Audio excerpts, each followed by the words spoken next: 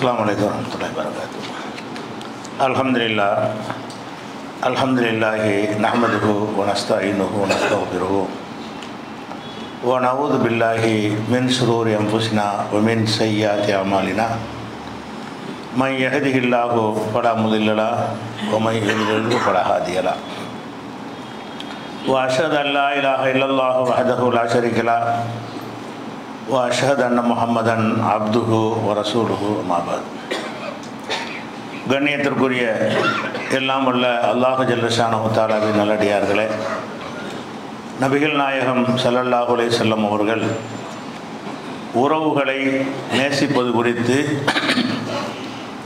உறவினர்களோடு அனுசரித்து வாழ்வது குறித்து அவர்கள் காட்டிய வழிமுறைகளை நம்ம அறிந்து வருகிறோம் உறவினர்களை பகைப்பது வந்து பெரிய குற்றமாகவும் பாவமான காரியமாகவும் மார்க்கத்தில் சொல்லப்பட்டிருக்கிறது. அதே நேரத்தில் நம்முடைய உறவினர் ஒருவர் நமக்கு அநீதி இழைத்தார் என்றால் நமக்கு அநியாயம் செய்தார் என்று சொன்னால் நம்முடைய சொத்தை அவர் அபகரித்து கொண்டார் என்று சொன்னால் நம்மிடத்தில் வாங்கிய கடனை தராமல் மோசடி செய்கிறார் என்று சொன்னால் அப்போதும் அனுசரித்து போக வேண்டுமா? என்ற ஒரு சந்தேகம் பலருக்கு இருக்கிறது. அவர்கள் செய்கிற உறவினர்கள் செய்கிற தவறுகளை பொறுத்த வரைக்கும் ரெண்டு வகையாக அதை பிரிக்க வேண்டும். ஒன்று ஒரு தவறை செய்துவிட்டு அந்த தவறுக்கு பிராயச்சித்தம் செய்து திருந்தி கொண்ட தவறுகள். நமக்கு ஒரு அநியாயம் பண்ணார் இல்லைங்க நான் அநியாயம் பண்ணிட்டேன் இனிமேல் அதை செய்ய மாட்டேன் என்று திருந்தி கொண்ட தவறுகள் ஒன்று இருக்கிறது. அல்லது திருந்தி கொள்ளாமல் நீடிக்கிற தவறுகள். நம்முடைய சொத்தை அபகரிச்சுக்கிட்டாரு தரவே மாட்டேங்கிறார். அது வந்து அந்த கசப்புணு உள்ளத்தில் இருந்துக்கிட்டே இருக்கும். நம்மால் இணங்கி போகவே முடியாது. அப்போ அவர் திருந்தாமல் இருக்கும் பொழுது அப்பவும் அனுசரிக்கணுமா என்று கேட்டால் அவங்க திருந்தாமல் இருக்கும்போது அனுசரிக்கிறது கட்டாயம் கிடையாது.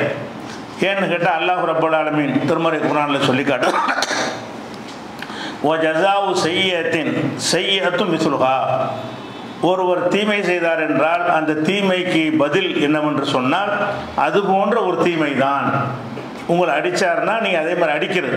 அதான் அதுக்கு சரியான அல்லவை சொல்லித்தரான். ஓ ஜசாவு செய்யத்தின் செய்யத்தும் மிசுலுகா ஒரு தீமைக்கு பதிலடி என்பது அது போன்ற ஒரு தீமை தான் அதே நேரத்தில் ஃபமன் அஃபா யார் மன்னித்து விடுகிறாரோ வாசலக இணக்கத்தை ஏற்படுத்தி கொள்கிறாரோ அஜுர்ஹு அலல்லாஹி. அவருடைய கூலி அல்லாவிடத்தில் இருக்கிறது. இன்னஹு லாயுஹிபுல் லாலிமீன் அநியாயக்காரர்களை அல்லாஹ் நேசிக்க மாட்டான். இதில் அல்லாஹ் என்ன சொல்ல வர்றான்னு கேட்டால் உங்களுக்கு ஒருத்தர் அநியாயம் செய்தார் என்று சொன்னால் அதை திருப்பி நீங்கள் அதே மாதிரி செய்வது வந்து அந்த உறவை முறித்ததில் வராது. உறவாக இருக்கட்டும் நட்பாக இருக்கட்டும் யாராவே இருக்கட்டும்.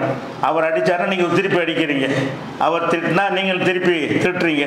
அந்த மாதிரி அவர் செஞ்சது போலவே நீங்கள் செய்தீர்களேயானால் அதுதான் அதுக்குரிய சரியான முடிவு என்று அல்லவே சொல்கிறான் அதே நேரத்தில் சிறந்தது என்னன்னு சொன்னால் மன்னிச்சு விடுறது. நீங்கள் மன்னிக்காமல் விட்டாலும் அல்லாட்ட குற்றவாளி ஆக மாட்டீங்க. நமக்கு அநியாயம் செய்கிறாரு. அந்த அநியாயத்துக்காக வேண்டி நம்ம அதே மாதிரியான ஒரு பதிலடி கொடுத்தோம் என்று சொன்னால் நீங்கள் ஒரு பொருளை உங்களுக்கு கொடுத்து விட்றீங்க. திருப்பி அனுப்பிடுறாங்க. நாளைக்கு வந்து அவங்க கொடுத்து விடும்போது திருப்பி அனுப்பலாம். அவங்க செஞ்ச தீமைக்கு வந்து அது போல பதிலடி கொடுக்கலாம்னு குரான் என்ன செய்கிறது? நாற்பதாவது சூறாவில் எல்லாம் வந்து நாற்பத்தி ரெண்டாவது சூறாவில் நாற்பதாவது வசனத்தில் எல்லாம் இதை அனுமதிக்கிறான். அப்போ அப்படி இல்லாமல் நம்ம அவன் திருப்பி விட்டான். நம்ம திருப்பி விட தேவையில்லை என்று எடுத்துக்கொண்டீர்களே. ஆனால் சிறந்தது. அவர்கள் செய்த மாதிரியே நம்ம செஞ்சால் அல்லாட்ட பாவம் வராது. ஏன்ப்பா இதை செஞ்சேன்னு கேட்டால் அவன் அதே மாதிரி செஞ்சான். அதுக்கு நீ அனுமதித்திருக்கிறாய். அதன்படி தான் நான் செஞ்சேன்னு சொன்னால் அல்லா நம்மளை குற்றம் முடிக்க மாட்டான். ஏன்னா மனிதன் எல்லாம் அப்படி படைச்சிருக்கிறான். என்னதான் பயான் பண்ண உடனேலாம் அந்த கோபம்லாம் மறையாது. நமக்கு ஏற்பட்ட அநீதிலாம் உடனே போயிடாது அதுக்காக அல்ல என்ன செய்யறான்னா மனித இயல்புக்கு ஏற்றவாறு அந்த சட்டத்தை தந்திருக்கிறான். அப்போ தீமைக்கு தீமை செய்வதற்கு மார்க்கத்தில் அனுமதி இருக்கிறது. அதே நேரத்தில் சிறப்பு என்னன்னு கேட்டால் மன்னித்து விடுவது. மன்னித்து விட்டால் அதுக்கு கூலி தனியாக இருக்கிறது. நீங்கள் மன்னித்து விட்டீர்கள் என்று சொன்னால் மன்னிப்புக்கு மன்னிப்பு ஆயிடுச்சு. இந்த மன்னித்தான் என்பதற்கு ஒரு கூலி எல்லாம் பதிவு செய்கிறான். அப்போ இந்த உறவினர் அனுசரிக்கிற விஷயத்தில் உங்களுக்கு அவர்கள் அநியாயம் செய்து கொண்டே இருக்கிறார்கள் என்று சொன்னால் நீங்கள் அதே மாதிரியே நடந்து கொள்வது மார்க்கத்தில் குற்றம் இல்லை அதே நேரத்தில் நீங்கள் மன்னிச்சுட்டு சென்னின்னு சொல்லிட்டு உன் தரத்தை நீ காட்டிட்ட. நான் ஏன் தரத்தை நான் காட்டுறேன்னு சொல்லி பெருந்தன்மையை காட்டணும் என்று சொன்னால் அது சிறப்பானது. அதே மாதிரி வந்து ஒளமனின் சிறப்பா बाद ही மா அலைகும் மின் சபீல் அநியாயம் செய்யப்பட்ட காரணத்தினால அதுக்கு யாராவது பதில் கொடுப்பாரையானால் உலாய்க்க மா அலைகும் மின் சபீல் அவர்கள் மீது எந்த ஒரு குற்றமும் கிடையாது. அவங்கள நான் விசாரிக்க மாட்டேன். உங்களுக்கு அநியாயம் செய்தார்கள் என்பதற்காக நீங்க அதே மாதிரி தாண்டிடக்கூடாது. அதே மாதிரி அதே அளவுக்கு கூடாத வகையில் நீங்கள் திருப்பி கொடுத்தீர்களேயானால் அது உங்கள் மீது குற்றம் கிடையாது. அப்போ உறவினர் அனுசரிப்பதாக இருந்தாலும் சரி யார் யார் அனுசரிக்கிறதா இருந்தாலும் சரி அவங்க அநீதியை தொடர்ந்து செஞ்சுக்கிட்டே இருந்தாங்கன்னு சொன்னால் நம்ம அதை அதே மாதிரி என்ன செய்யலாம்? பதிலடி கொடுத்துட்டு அவன் எப்படி நம்மகிட்ட நடக்கிறானோ அதே மாதிரி நாமும் நடந்து கொண்டால் அது வந்து குற்றம் கிடையாது. ஆனால் சிறப்பு என்ன? சரி மன்னிச்சு விட்டுருவோம். நம்ம சொந்தக்காரன் தானே என்று மன்னித்து விட்டீர்களே ஆனால் அதுக்கு ஒரு கூலி இருக்கிறது. அப்போ அவங்களுடைய மனதுடைய அந்த தன்மையை பொறுத்து முடிவு எடுத்துக்கொள்ள வேண்டியது. யாருக்கு அது மாதிரி மன்னிக்கிற தன்மை இருக்கிறதோ அவங்க மன்னிச்சிடலாம். அல்லது சில விஷயங்களில் மன்னிக்கிற ஆள் கூட சில காரியங்களை மன்னிக்க மாட்டார். சில காரியங்களை மன்னிப்பார். இந்த விஷயத்தை என்னால் மன்னிக்க முடியாது அப்படின்னு சிலருக்கு இருக்கும். அப்படி இருக்குமே ஆனால் அந்த உணர்வுக்கு அல்ல மதிப்பளிக்கிறான் உங்களுடைய உணர்வுக்கு மாற்றமாக கட்டளை போட்டு நீ பிடிக்காட்டால் நீ செய்யத்தான் வேணும் அப்படின்னு சொன்னானே ஆனால் அது மனப்பூர்வமாக நம்ம மனசு ஏற்றுக்கிறாரு அதை படைச்ச இறைவனுக்கு தெரிஞ்ச காரணத்தினால தான் அதை பர்மிஷனாக கொடுத்துட்றாங்க உங்களுக்கு. நீ செஞ்சுக்கிறங்க ஆனால் சிறப்பு என்ன? நீங்கள் வந்து பதிலடி கொடுக்காம மன்னிச்சிடுறது தான் அதே மாதிரி அல்லாஹ் சொல்லி காட்டுகிறான் இன்னம சபீலு அலல்லதீன எதிலிமூன நாஸ். யாரை நான் குற்றம் பிடிப்பேன் என்று கேட்டால் மக்களுக்கு அநியாயம் செய்து எபூனஃபில்லருந்து பிகைரில் ஹக். நியாயம் இல்லாமல் பூமியில் வரம்பு மீறுறாங்க இல்லையா? அவங்கள தான் குற்றம் பிடிப்பேன். நீங்கள் செஞ்சதுக்கு பதிலாக செஞ்சீங்கன்னு சொன்னால் என்ன இல்லை உங்களை குற்றம் பிடிக்க மாட்டேன் என்றும் நாற்பத்தி ரெண்டாவது சூறாவில் நாற்பத்தி ரெண்டாவது வசனத்தில் நல்லா சொல்லி காட்டுகிறான். சொல்லிவிட்டு முடிவில் நாற்பத்தி மூணாவது வசனத்தில் சொல்கிறான் ஒளமன் சபர வ இன்னதாலிக்கும் என் அஸ்மில் உமூர். யார் வந்து சபர பொறுமையாக நடந்து கொள்கிறாரோ அவர் வந்து மன்னித்து விடுகிறாரோ இதுதான் காரியங்களில் உறுதிமிக்க காரியம். மிக உறுதியான நல்ல காரியம் என்னன்னு கேட்டால் நீங்கள் சபுர் செய்வது ப்ளஸ் மன்னித்து விடுவது. நீங்கள் சகித்து கொண்டு மன்னித்து விட்டீர்களே ஆனால் அது காரியங்களில் சிறப்பானதாக இருக்கும். அப்போ நம்ம உறவினர்களுக்கு மத்தியில் நம்ம அனலைஸ் பண்ணி பார்க்கணும். இவன் செய்கிற விஷயம் வந்து மன்னிக்கத்தக்கது தானா இப்போ மிஸ்தக என்பவர் அபுபக்கருடைய மகள்ங்கிற வகையில் ஆயிஷா நாயர் மீது ஒரு அவதூறு சொன்னார். சொல்லிக்கிட்டே இருந்தார். சொன்னார் தப்போடு வழங்கிக்கிட்டாரு இஸ்லாத்தில் அவருக்கு தண்டனையும் கொடுக்கப்பட்டுச்சு. அதுக்கு பிறகு அபுபக்கர் மன்னிச்சிட்டாங்க. டெய்லி சொல்லிக்கிட்டு இருந்தா மன்னிக்கலாமா? ஒரு அவதூறு சொன்னார். சொன்னது முடிஞ்சிருச்சு. சொன்னதை திருந்தி கொண்டார். அதுக்கு தண்டனையும் கொடுக்கப்பட்டு விட்டது.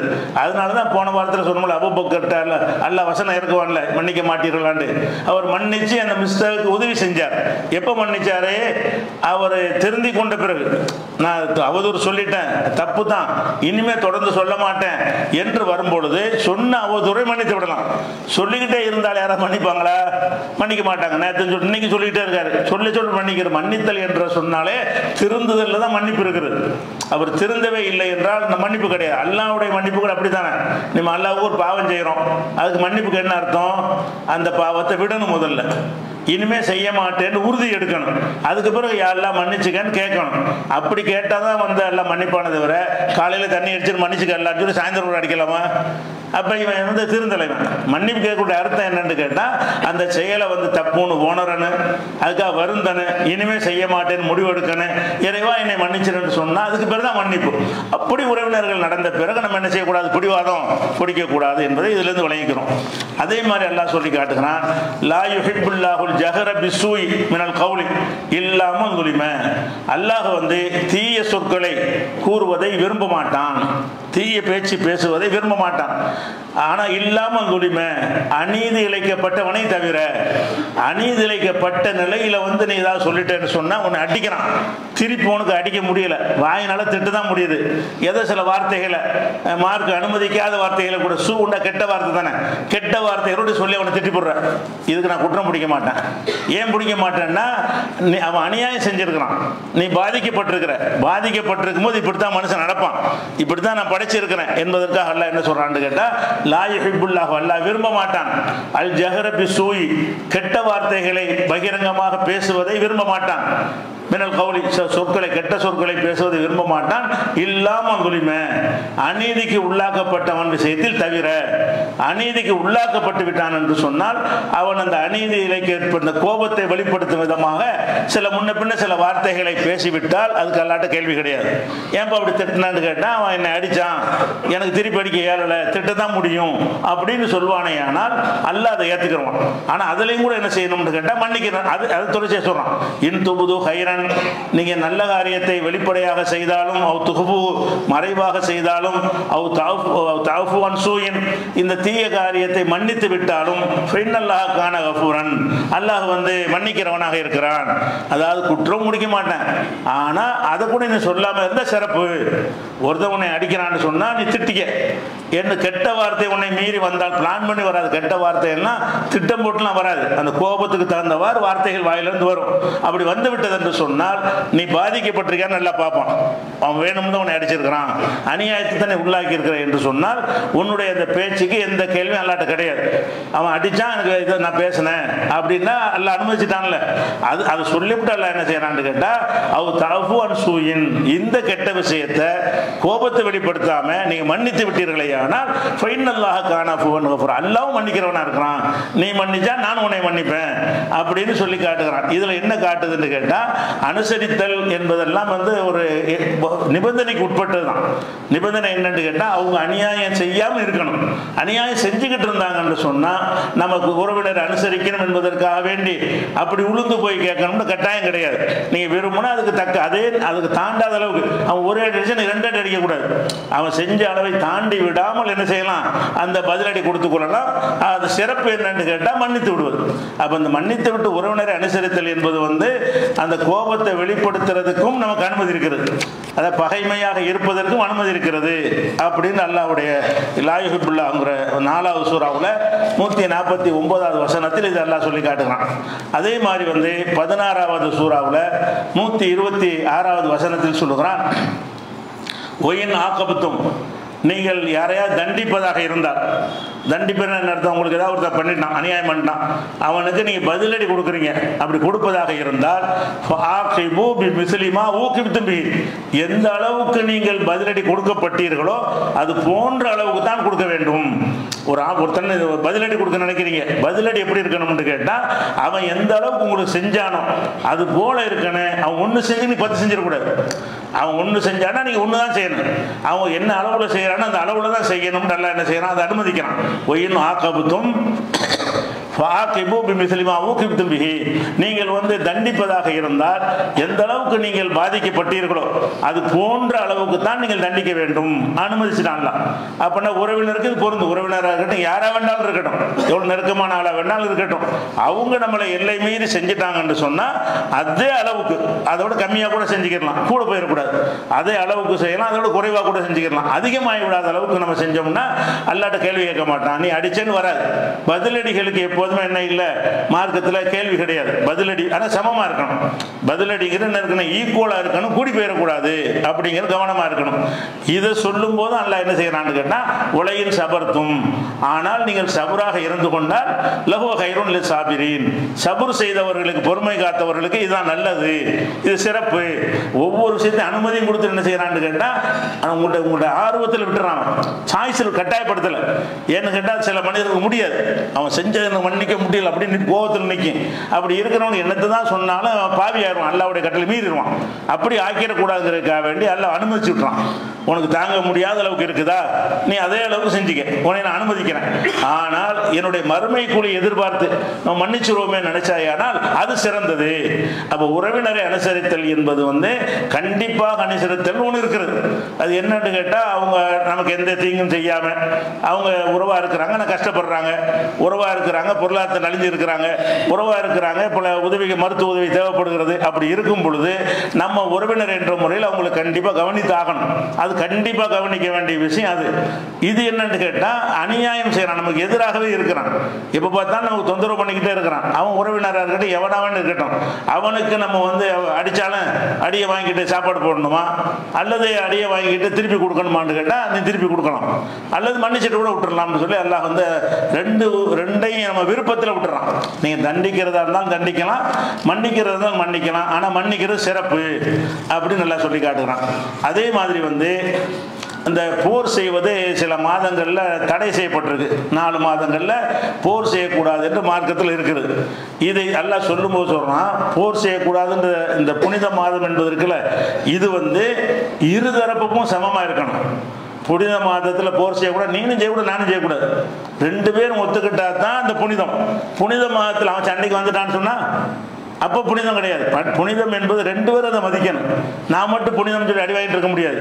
அவனும் புனிதம்னு மதிச்சு அவன் என்ன அடிக்காம இருக்கணும் நான் அவன் அடிக்காம இருக்கணும். அப்படி இருந்தால் தான் சொல்லி எல்லாம் என்ன செய்யறான்னா அஷஹருல் ஹராமி பி ஷஹருல் ஹராம் புனித மாதத்துக்கு புனித மாதம் நிகரானது என்று சொல்லிவிட்டு உல் ஹிராம் உல் ஹொருமாத்து கிசாசும் புனிதங்கள் வந்து சமநிலையில் உள்ளதாக இருக்கிறது. புனிதம் என்று சொன்னால் டூ சைடும் அது மாதிரி இருக்கணும். ரெண்டு சைடும் புனிதம் மதிச்சாதான் சரியா வரும் அப்படி சொல்லிட்டு ஃபமன் ஏத்ததா அலைக்கும் யார் உங்கள் மீது வரம்பு மீறுகிறாரோ பழத்தது அலைஹி மிதிலி மாத்ததா அலைக்கும் எந்த அளவுக்கு வரம்பு மீறுகிறாரோ அது போன்று நீங்கள் மீறிக்கொள்ளுங்கள்.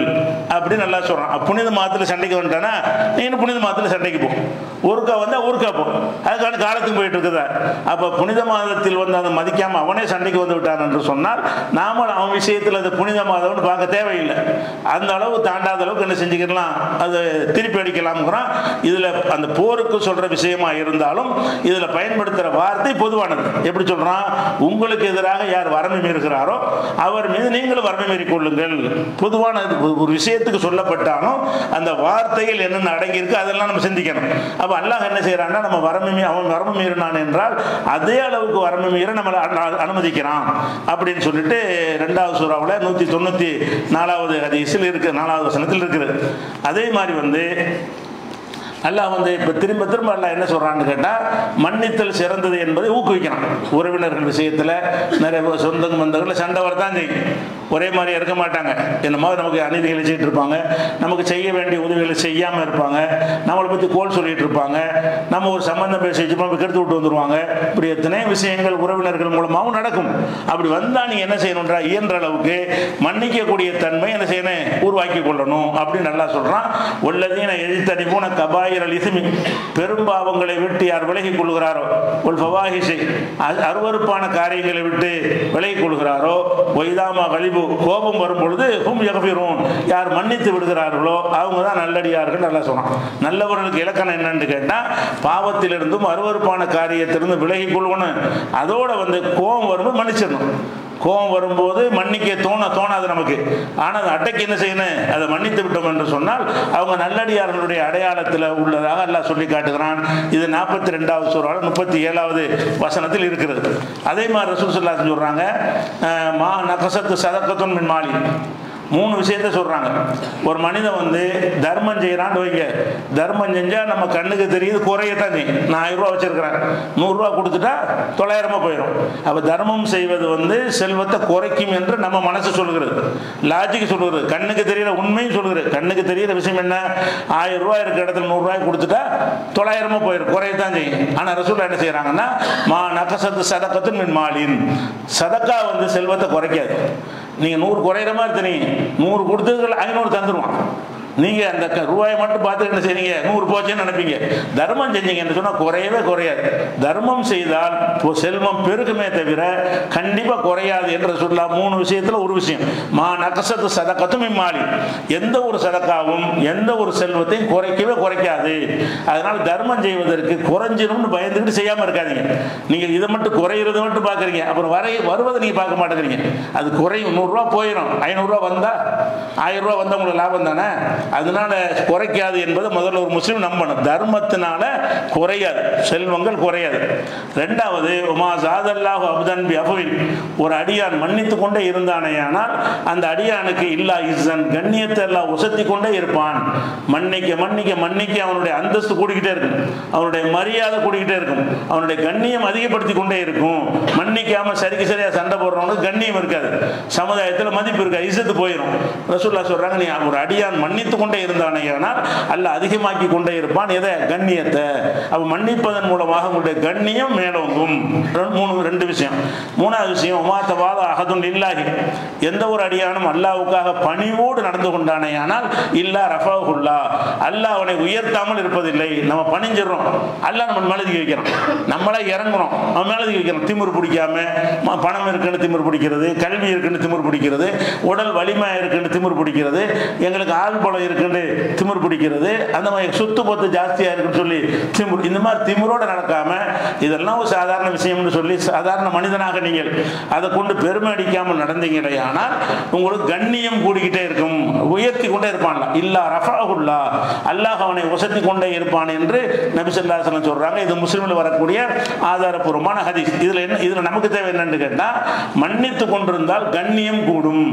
பழி வாங்கலாம் நீங்கள் உறவினரை அவங்க செஞ்ச அநியாயத்துக்காக நீங்கள் என்ன செய்யலாம்? அதே அளவுக்கு தண்டிக்கலாம் அதே அளவுக்கு கோபிக்கலாம் அதே அளவுக்கு பகிக்கலாம். அனுமதி இருக்கிறது. மன்னித்தால் சிறப்புன்னு சொல்கிறாங்கல்ல அது என்ன சிறப்புன்னு கேட்டால் உங்களுடைய கண்ணியம் கூடும்.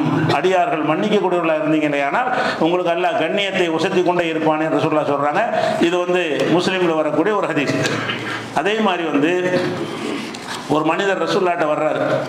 வந்து என்ன கேட்குற அல்லாவுடைய தூதலே எனக்கு உறவினர்கள் இருக்கிறாங்க. நான் வந்து அவங்களோட சேர்ந்து வாழ்கிறேன். என்ன என்னுடைய உறவை முறிக்கிறாங்க. நான் அவங்களுக்கு நன்மை செஞ்சுக்கிட்டு இருக்கிறேன். ஆனால் எனக்கு கெட்டு தான் செய்கிறாங்க நான் சகித்து கொண்டிருக்கிறேன். அவங்க என்கிட்ட வந்து அறியாமையாக நடந்து கொள்கிறார்கள். அறிவீனமாக நடந்து கொள்கிறார்கள். அப்படின்னு முறையிடுறார். என்னோட உறவினர் இருக்காங்க.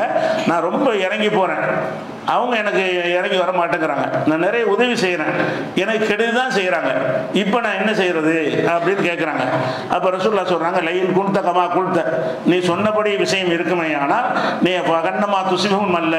நீ சுடு மணலை தான் சுடு சாம்பலை தான் நீ அவங்களுக்கு கொடுக்குறாய். நீ என்ன உதவி செஞ்சாலும் சாம்பலை திங்கிற மாதிரி தான் அவங்களுக்கு. நல்ல நல்லது நல்லதா இருக்காது அப்படின்னு சொல்லிட்டு ஒலா எசாலு மழக்க மினல்லாஹி லஹீருன் அலைஹிம். மாதும் தலாத அழிக்க இதே போக்கில் நீ நீடித்தாயானால் அல்லாவின் புறத்திலிருந்து உனக்கு உதவியாளர் ஒரு இருந்து கொண்டே இருப்பார். அவன் அநியாயம் செஞ்சாலும் நீ நன்மை செய்யறது. பெரிய பெருந்தன்மையை மன்னிச்சு நீ நடந்து கொண்டாயானால் உனக்கு அல்லாவிட அல்லாவிடத்திலிருந்து என்ன செய்யும்? உதவி கிடைத்து கொண்டே இருக்கும் என்றும் ரசூல் சல்லா என்ன செய்யறாங்க சொல்லி காட்டுறாங்க. இந்த இந்த சிறப்பு தகுதிக்காக நம்ம என்ன செஞ்சிடலாம்? மன்னிச்சிடலாம். அறவே முடியல. அவன் செஞ்சதை மன்னிக்க முடியலன்னு ஒருத்தர் இருப்பாரே. ஆனால் அவர் குற்றவாளி கிடையாது. அதே அவன் செஞ்ச அளவுக்கு செஞ்சாரன்னா குற்றவாளி கிடையாது. அதே மாதிரி வந்து ஒருத்தருடைய பாய்த்தல் என்பதுடைய அர்த்தத்தையும் விளங்கிக்கிறேன் அதாவது சொந்த சண்டை வந்துருச்சு. சேர்றதுல என்ன அர்த்தம்? இப்போ பார்த்தா அவரோட உட்காந்துருக்குன்னு அர்த்தமா? போய் பார்த்து அப்படிலாம் கிடையாது. சேருவது என்பதற்கு குறைஞ்சபட்ச ஒரு அளவு ஒரு சில அதில் சொல்லப்பட்டிருக்கு. என்ன சொல்லப்பட்டிருக்குன்னு கேட்டால் லா யஹைனுல் ரெஜுலின் யஹுஜுர் அகாஹு ஃபோக்கசலாசி லையாளி மூணு நாளைக்கு மேலே ஒருவன் ஒரு சகோதரனை பாய்க்கக்கூடாது. மூணு நாளைக்கு சண்டையாக இருக்கலாம். கோவம் வந்துருச்சு திட்டிப்புட்டீங்க. ஒரு நாளைக்கு பேசாமல் இருக்கலாம். ரெண்டு நாளைக்கு பேசாமல் இருக்கலாம். மூணு நாளைக்கு பேசாமல் இருக்கலாம். மூணு நாளோட முடிஞ்சு வச்சு அப்புறம். அப்புறம் என்ன செய்யக்கூடாது? வெறுக்கக்கூடாது. மூணு நாளுங்கிறது மனி- மனிதன் கண்ட்ரோலில் இல்லாது. நம்ம என்னதான் அடக்கினாலும் வந்துக்கிட்டு தான் இருக்கும். அந்த பாதிப்பு வந்து மூணு நாளைக்காவது இருக்கும். அப்போ மூணு நாள் கடைஞ்சிருச்சுன்னு சொன்னால் அப்புறமேல் பேசாமல் இருந்தால் தப்புன்னு சொல்லிட்டு என்ன செய்கிறாங்கன்னா இப்போ எல்தகியானி இப்போ யூரிலுகாதா யூரிலுகாதா அதுக்கு இலக்கணம் சொல்கிறாங்க ரெண்டு பேரும் பார்த்து கொள்கிறார்கள். இவன் அந்த பக்கம் திரும்பிக்கிட்டு போறான் அவன் அந்த பக்கம் திரும்பிக்கிட்டு போறான். இப்படி போகிறது தான் கூடாது. ஓ ஹைருஹுமா அல்லது பதாபி சலாம். யார் வந்து இந்த சந்திக்கும் போது சலாத்தை கொண்டு ஆரம்பித்து விடுகிறானோ அவன் சிறந்தவன். பெரிய பகை இருக்குது. கூப்பிட்டு விசாரிக்கணும் முடியாது. பாப்பா நல்லா இருக்காங்களா அம்மா நல்லா இருக்கான்னு பேச முடியாது. அவ்வளோ அநியாயம் பண்ணியிருக்கிறான். அதனால இந்த அவனை பா பார்க்குற அஸ்ஸலாமு அலைக்கும். அவ்வளோ போதும். நீங்கள் உறவு அனுசரிச்சிட்டீங்க. உறவு அனுசரிப்புடைய அர்த்தம் என்னன்னு கேட்டால் சந்தித்தால் சலான் சொல்லியிருக்க அவ்வளோ இதுக்காக தேடணும் அவனுக்கு புகழ் மாலை சூட்டணும் மன்னிப்பு கேட்டு வாட்ஸ்அப்பில் அனுப்பணும்னு அவசியம் கிடையாது. இருவரும் சந்தித்து கொண்டீங்கன்னு சொன்னால் அவன் நேர நேரம் பார்த்துட்டீங்கள ஒரு முஸ்லீம் முஸ்லீம் செய்கிற கடமைன்னு ஒன்று இருக்குல்ல சலாம் சொல்லிட்டு போயிட்டாரு. யார் சிறந்தவன் என்று சொன்னால் ஹைருஹுமா அல்லது எபுதோ பிசலாம் சலாமை. கொண்டு யார் ஆரம்பிக்கிறானோ அவன் தான் சிறந்தவன். அப்போ உங்களுக்குள்ள என்ன சண்டை இருந்தாலும் சரி இப்போ தீர்மானம் பண்ணிக்கிறேன்னு சரி நம்ம நம்ம இந்த பகையா இருக்கார் உறவினர் அவர் எதுக்கு வந்தார்னு சொன்னால் அவர் நம்மளை பார்த்தோம்னு சொன்னால் சலாம் சொல்லிடுவோம். அப்படின்னு முடிவு பண்ணி செயல்படுத்திட்டீங்கன்னு சொன்னால் நீங்கள் உறவை முறித்த கூட்டத்தில் வராது. அந்த கசப்பு இருக்கும்போது அப்படி தான் நடந்து கொள்ள முடியும். அப்போ குறைஞ்சபட்சம் இது செயல் ஒன்று என்ன இருக்கு? அசலாம் அலைக்கும் சொல்லிட்டு போயிட்டாரு. இதை விசாரிச்சாதான் பேச்சு வரும் பஞ்சாயத்து வரும். ஒன்றும் பண்ண வேணாம். அவரை சந்திக்கும் போது சலாம் சொல்லிட்டு போ என்று ரசூல் சல்லா அலிஸ்லாம் அவர்கள் உறவினரை அனுசரிப்பதற்குரிய இலக்கணத்தையும் சொல்லுகிறார்கள். அப்போ இதெல்லாம் அனைத்தும் நம்ம என்ன செய்யணும்? உறவினர் விஷயமாக நடந்து கொள்ளணும். உறவினர் விஷயமாக இன்னும் சில விஷயங்கள் இருக்குன்னு அதை அடுத்த வாரத்தில் பார்க்கலாம்.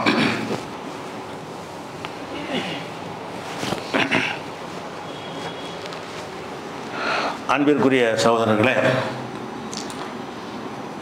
இஸ்ரேலுங்கிற அந்த பயங்கரவாத நாடு காசாவில் இருக்கிற ஒரு மருத்துவமனையின் மீதும் அதை சுற்றி குழந்தைகள் விளையாடுகிற ஒரு பூங்கா மாதிரியான பகுதியின் மீதும் குண்டு வீசி ஐநூறுக்கு மேற்பட்ட சிறுவர்களையும் பெண்களையும் நோயாளிகளையும் கொன்று குவித்திருக்கிறது. குண்டு வீசி குவித்திருக்கிறது. இந்த குவித்த பிறகு உலக நாடுகள் எல்லாம் கடுமையான அதிருப்தி. முஸ்லீம் நாடுகள்லையும் அதிருப்தி. இவங்களுக்கு சப்போர்ட்டாக பேசிக்கிட்டு இருந்தாங்க இல்லையா? அவங்களுக்கே இதில் கோபம் வந்து கடுமை எதிர்ப்பு. எந்த அளவுக்கு எதிர்ப்பு என்று கேட்டால் இஸ்ரேலில் இருந்த ஒரு பெரிய யூத கூட்டம் திரண்டு வந்து இந்த அநியாயத்தை நிறுத்துன்னு போராடுறாங்க. இஸ்ரேல் மக்களை இஸ்ரேல் அரசாங்கத்தை எதிர்த்து இந்த அநியாயத்துக்கு எதிராக பெரிய போராட்டத்தில் ஈடுபடுறாங்க. ராணுவ தளபதி என்ன எச்சரிக்கிறார்னு கேட்டால் இஸ்ரேலுக்கு எதிராக நீங்கள் போராடுவதாக இருந்தால் பஸ்ஸில் ஏற்றி காசுகளை கொண்டு விட்டுருவோம். அங்கே போய் பண்ணுங்க.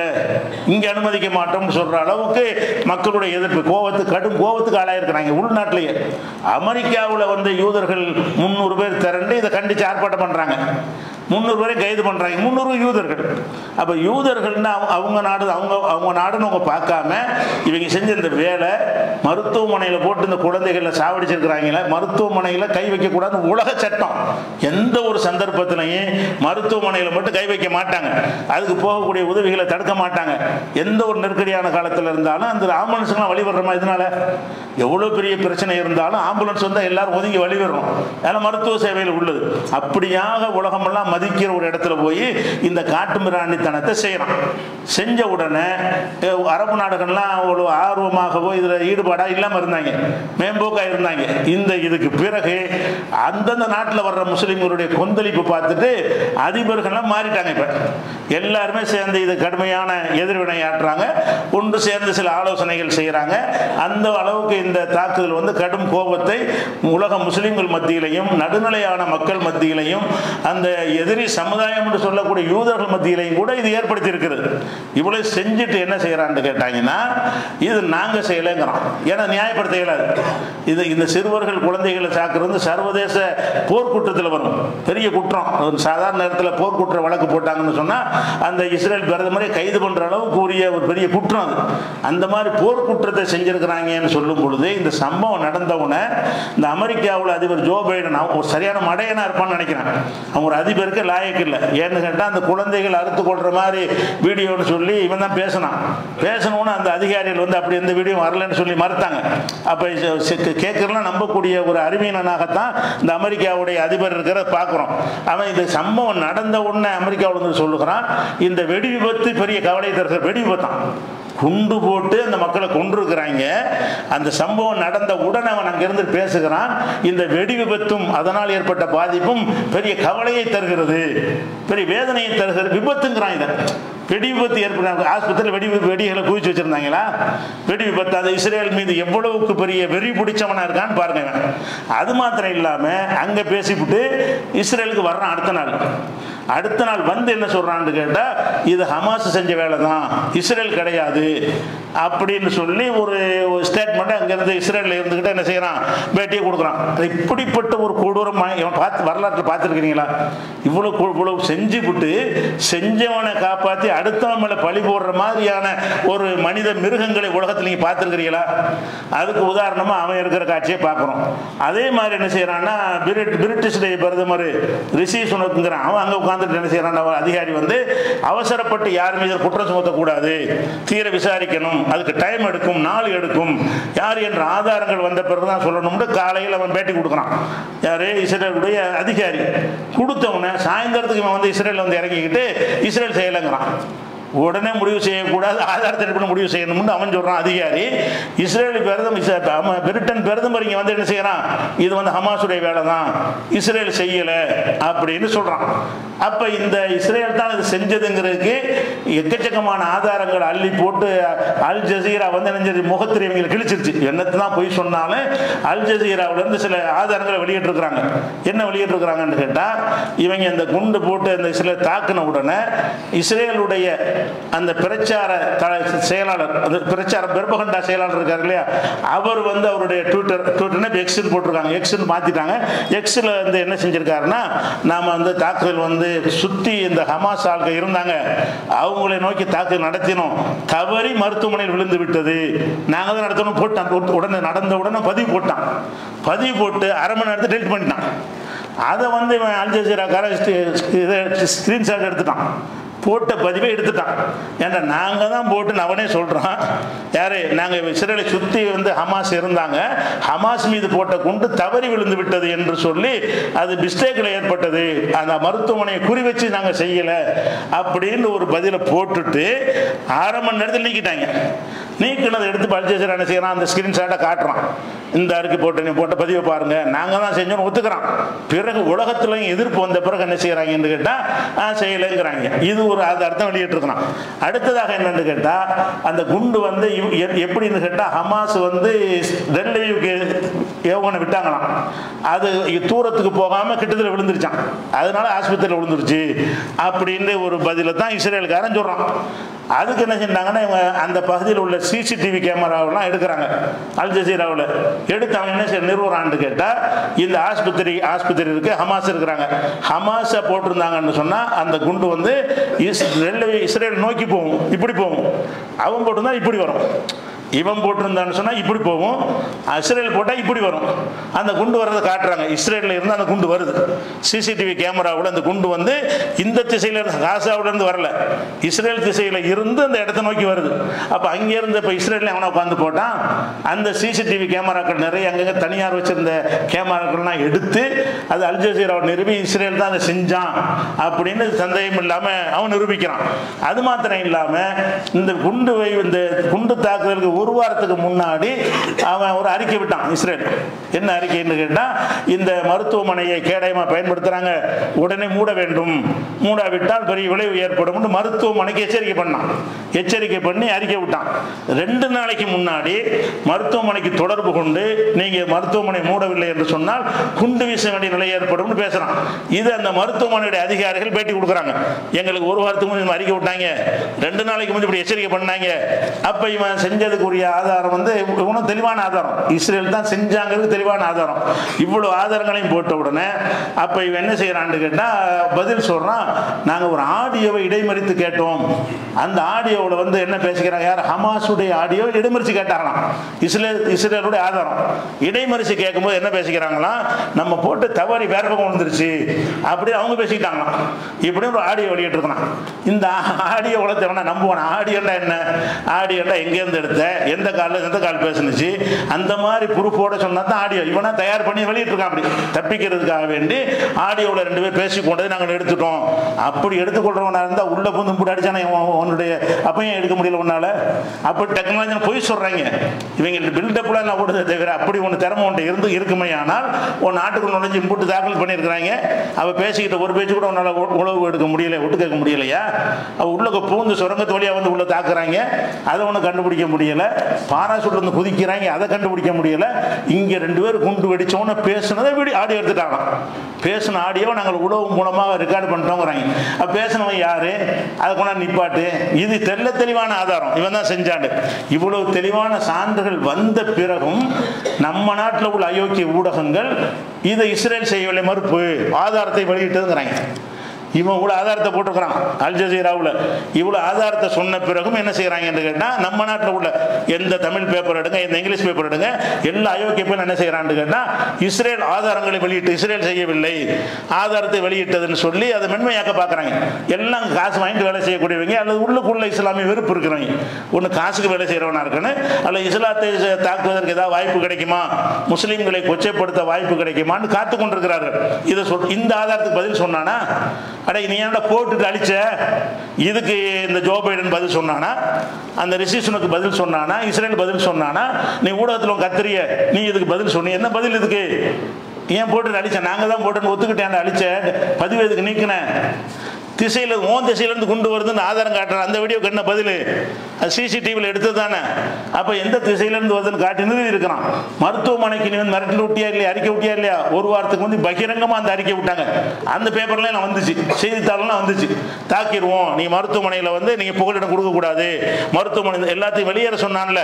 அந்த டேட்டில் இதையும் சொன்னான். எல்லாம் வெளியேறுங்கன்னு உத்தரவு போட்டாங்கல்ல. அப்போ மருத்துவமனை மூடிட்டு வெளியே போங்கன்னு சொன்னான். அப்போ மருத்துவமனை மூடணும்னு சொன்னவன் தான் தாக்கியிருப்பான். மருத்துவமனையை மூடாவிட்டால் தாக்கும்னு சொல்லவும் செஞ்சான். இவ்வளவு ஆதாரங்களை இருக்கும்போது என்ன செய்யறான்? உலகமெல்லாம் சேர்ந்து கொண்டு முஸ்லீம் விஷயம் என்று சொன்னா இவன் இவன் இவ்வளவு பெரிய கொடூரமானவனை நல்லவனாக பார்க்குறாங்க. ஹமாஸே இதை செஞ்சுட்டாங்க. வேணும்னு செஞ்சாலும் நம்ப மாட்டாங்கல்ல. தவறுதலாக எங்களை நோக்கி தாக்கின அந்த ஏவுகணை வந்து அதில் விழுந்து விட்டதுங்கிறாங்க. அதை விட அந்த இராணுவத்துடைய இதை ஆய்வு செய்யக்கூடிய வல்லுநர்கள் என்ன சொல்றான்னு கேட்டா இவ்வளவு பெரிய தாக்குதலை ஏற்படுத்தக்கூடிய எந்த ஆயுதமும் ஹமாஸ்ட இல்லை. அவன் ஐயாயிரம் ஏழாயிரம் ராக்கெட் விட்டு தான் ஆயிரம் பேர் அடிக்க முடியுது. ஐயாயிரம் ஆறாயிரம் அப்படின்னா என்ன ஒவ்வொன்றும் சின்ன ஒரு இடத்துல இருந்து அந்த இடத்த மட்டும் தான் இருக்கும் இந்த பில்டிங்கில் வந்து அந்த பில்டிங்கில் லேசாக சேதப்படுத்துமே தவிர அந்த அவ்வளோ பெரிய எவ்வளோ பள்ளமாக எவ்வளோ சிதைஞ்சு கிடக்குன்னு பாருங்க. இப்படி சிதைவு செய்யக்கூடிய எந்த ஒரு குண்டும் ஹமாஸ்கிட்ட கிடையாது. அப்படி ஒரு குண்டு உன் மேலே போட்டிருப்பானே. இது வரைக்கும் அவன் அப்படி கிடையாது. எல்லாம் சின்ன சின்ன ராக்கெட்டுகள் தான். அது சரசரன்னு ஐயாயிரம் ஏழாயிரம் அடிச்சு தான் அங்கங்கே லேசாக படும். லேசாக ஒரு சின்ன செவர் இடிஞ்சு விழுவும். அப்படி தான் ஒரு வருமே தவிர இவன் செய்கிற மாதிரியான தாக்குதல்லாம் வராது. அது ஆய்வு செஞ்சிடறாங்க. கண்டிப்பாக இது ஹமாஸ்கிட்ட கிடையாது. இது ஹமாஸ் செஞ்சிருக்க முடியாது. இஸ்ரேலை தவிர இது யாரும் செய்யலை. இது வந்து இவனுக்கு தெரியாதுங்கிறீங்களா அமெரிக்கா பிரிட்டன் இந்த ஜெர்மனி இவங்களாம் தெரியாதுங்கிறது தெரியும்.